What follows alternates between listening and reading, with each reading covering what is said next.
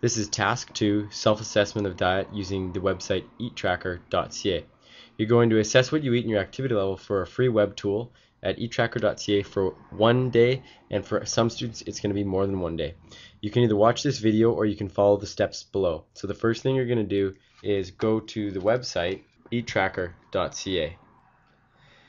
You're going to have to go in and sign up. So if you go to the right hand side, sign up, they're going to ask you for an email address and your password. So now that I'm logged in, what we're going to do is we're going to first thing, we're going to enter my details. So you're going to go to the left hand side, click on my details, and you're going to enter your birthday um, and some other information. Next you're going to click submit. The next thing you're going to do is go to my BMI. What this does is the BMI stands for the body mass index and what it does is it gives you a range of based on society.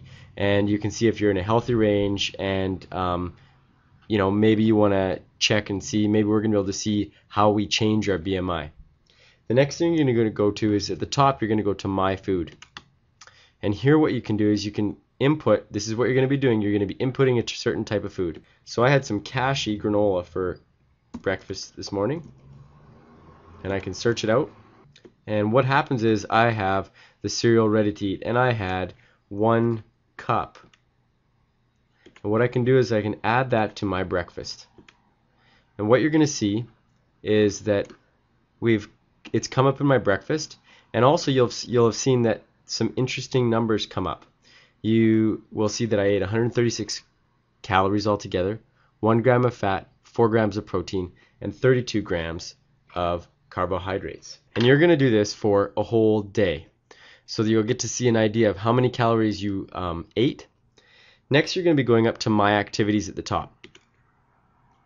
And what you can do is you can enter in what you did that day. So, for example, if you went swimming for an hour, and you're going to search, and this would be uh, swimming, moderate, continuing. Maybe you were just going leisurely. So, duration, I went for 60 minutes, and I can add that and you'll see it came in and it turns out I burned 625 calories.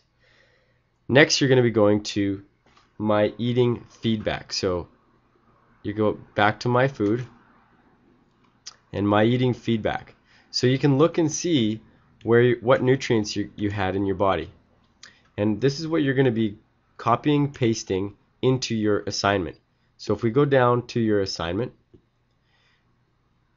and we've got analysis of our food and you're going to be putting that graph right in your vitamins and minerals. If we just go back to the top, you're going to be putting in some numbers for your fats, carbohydrates, and proteins for a day. So for that one meal, I had one gram of fat, I had 32 grams of carbohydrates, and I had 4 grams of protein. Then I added up the total, so I had 37 grams total altogether. You'll have a bunch more. Then what you're going to do is you're going to calculate the percentages you add up. So what we're going to do is we want to find the percentage of everything. So we have for our fats, we had one gram, and we're going to put it over the total. Then for protein, we had four grams, and we're going to put it over the total. And then finally, we've got carbohydrates, and we have 32 grams over 37 grams. You're going to get a decimal, and then you're going to times it by 100 to get it into a percent. Next, you're going to go through and answer the questions based on those numbers. All right, good luck. Have a good day.